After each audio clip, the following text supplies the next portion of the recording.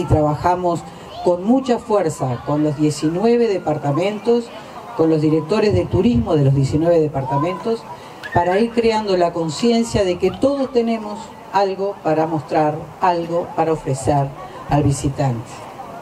Esto de que la laguna tenga ahora plazas que se inauguran, baños públicos, que festeje 80 años, para alguien que vino de niña acá, con apenas unas pocas casas edificadas, sin luz, sin agua, sin las calles abiertas, realmente saber que el balneario cumple 80 años, que logró su desarrollo y que tiene vecinos y vecinas como los que están acá, que están dispuestos a darle una mirada y a exigir de las autoridades mejoras, realmente para mí es estimulante.